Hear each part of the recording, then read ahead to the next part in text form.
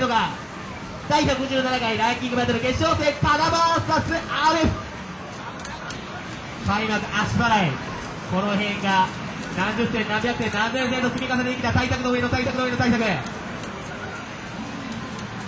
お互いキャラ対策人対策はほとんど出来上がってるがまあ不安要素はやり込んで大勢のこの2人。特に加田さんとブランクは割とでかいはずなんだがそれでもここまで登ってきました。そしてガードして桜井が見合った。体力込め奥ずらジャンプアイスだから。ここはしかしパジで逃れる。ジャンプ K6P 怖い読み合いだ。立ち回りオーレンヒット6ピ逃れているか。またオーレンこのタイム差また6ピよし。停停を回避。しかし最後はカバリーじゃねえ。カバリーカウンター。熱くなってる。まず一本選手はカダ6ピで突っ込む。しかしアレフ距離を離して状況を作るかな。わ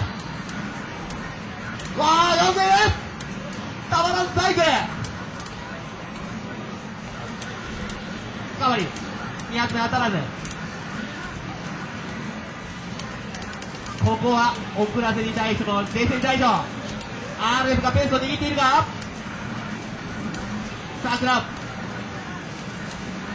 よしカウンよしない俺カウンターこっから生池のターンでタックル当然のようにターンは握らせません。怖い怖い。遠距離の立ち回り。何で削れ？何で削れ？もう連打しているこの男。スズラオーレンでメテを避けたまでは良かったが最後は。ドニキャンジャンプアイスはこれで1インチ第3ラウンドお互いバーストほぼ5分相打ち。遠距離の立ち回りチビアウトがうざい。鈴橋大臣先の選択肢バックから連続突き下げチビバウトを使って時間を稼ぐ。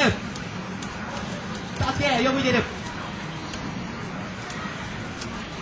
お互いコムにいけない。しかしここでシャービカプリンからバックオモバースト投げてピンバースト投げさんケラン